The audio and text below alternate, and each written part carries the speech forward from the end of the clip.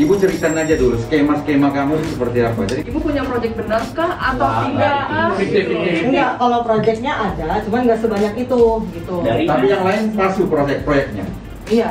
Iya, Berarti istilah itu setengah ada setengah nggak ada gitu. Iya. Ibu Ibu Dina, Ibu Dina, saya tanya, proyeknya itu palsu yang lain. Kenapa? Yang lain pus- proyeknya itu palsu ya. Iya.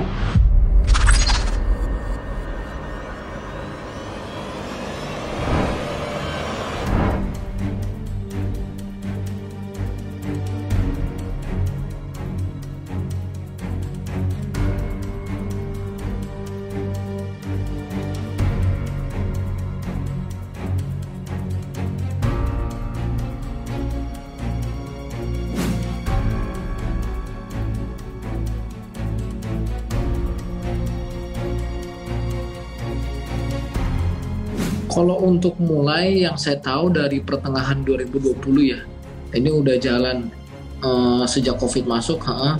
Cuman kalau untuk saya sendiri baru ikutnya sih awal-awal November ya. Saya sih eh, sebenarnya nggak diajak nggak diajak siapa-siapa, cuman saya kan banyak lihat eh, orang update di story gitu kan di Facebook juga ada eh, teman-teman saya yang update kayak gitu kan akhirnya saya penasaran lah langsung saya tanya ke orang tersebut gitu yang kebetulan memang teman saya juga gitu di Facebook awalnya saya tanya-tanya tanya-tanya ya coba-coba sih untuk masuk gitu. Tergiur saya. Pertama saya tergiurnya bukan karena cuannya ya. Pertama kan di situ dia eh, proyeknya dia bilang ini bekerja sama dengan proyek pemerintah. Berarti menurut saya ini benar dong eh, harusnya kan. Eh, akhirnya saya terjun lah. Dan kebetulan juga eh, cuannya juga nggak terlalu besar gitu. Maksudnya cuman 15% dalam tempo satu bulan lah masih make sense lah. Kecuali yang eh, cuannya udah nggak masuk akal kayak 50% atau 70% itu saya belum berani. Cuman kan ini yang masuk akal lah 15% menurut saya. Gitu sih Eh, dalam tempo sa- satu bulan. Makanya saya berani untuk ya udahlah coba sekali gitu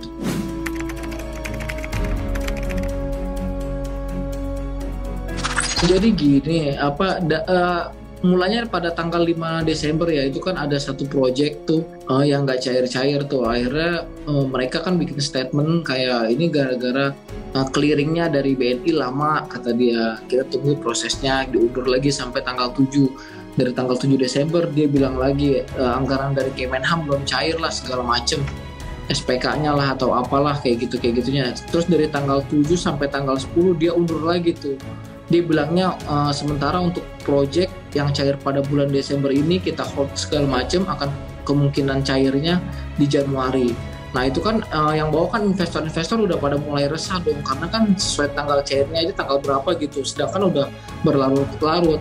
Akhirnya ada satu tim yang mendesak si Dina-Dina ini untuk ketemu, akhirnya oh, ketemulah tuh di eh, seperti yang ada di video itu kayak gitu ampurkan setelah didesak baru dia ngaku ternyata selama ini dia ngejalanin proyek fiktif gitu. Yang notabene melibatkan banyak orang kok di bawahnya. Kalau untuk korban kalau kita hitung sih ri- ribuan sih mencapai ribuan sih.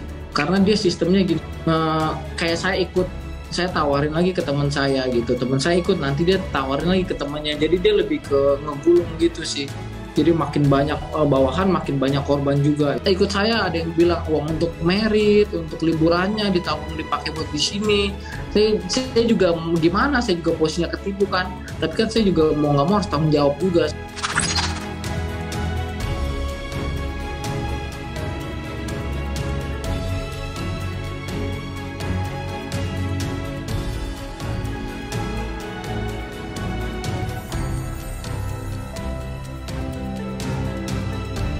Jadi money game itu sebenarnya ini sistem ponzi ya.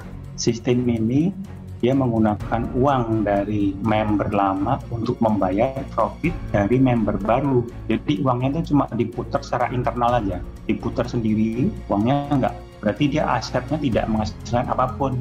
Jadi uangnya itu cuma diputar-putar dalam lingkungan dia sendiri. Gitu. Cirinya apa? Cirinya yang pasti dia sebagai kedok sebenarnya. Dia menawarkan investasi, aslinya money game, dan itu cirinya macam-macam. Jadi biasanya dia menawarkan suatu keuntungan yang pasti biasanya. Jumlahnya juga besar biasanya. Ya, seperti yang Sunmot itu, dia menawarkan paket-paket investasi, slot-slot disebutnya. Nah, tiap tiap slot dia memberikan keuntungan sejumlah tertentu. Keuntungan yang pasti itu gunanya apa? Dia untuk menarik member-member baru supaya ikut. Jadi nanti uangnya dibayarkan dari member yang lama. Tiap member baru biasanya yang slot-slot pertama dia dikasih profitnya. Nah, kemudian terakhir-terakhir baru semakin banyak membernya, dia makin lama makin tidak bisa ini membayar. Kan uangnya habis lama-lama kan. Waktu member barunya itu sudah mulai sedikit. Nah, itu udah mulai ambruk ya. Yang pertama pasti kita lihat dulu biasanya suatu penipuan itu cirinya ini dia menjanjikan keuntungan pasti seperti contohnya Sunmod ini dia buka slot kemudian nanti dapat profit berapa. Itu kan keuntungan pasti. Padahal secara real kan investasi kan bisa berubah-ubah. Bisa untung bisa rugi kan kalau investasi real kan. Dan biasanya keuntungan yang dijanjikan itu juga jumlahnya besar. Itu ciri keduanya gunanya untuk menarik member-member baru. Kemudian ciri berikutnya biasanya tidak regulasi dengan baik, jadi dia tidak terdaftar resmi. Ya seperti kita tahu kalau Sunmod itu dia kan tidak terdaftar sama sekali dia. Perusahaannya apa kan tidak ada kan. Biasanya apa dasarnya apa? Cuma trust saja antara salesnya dengan investornya.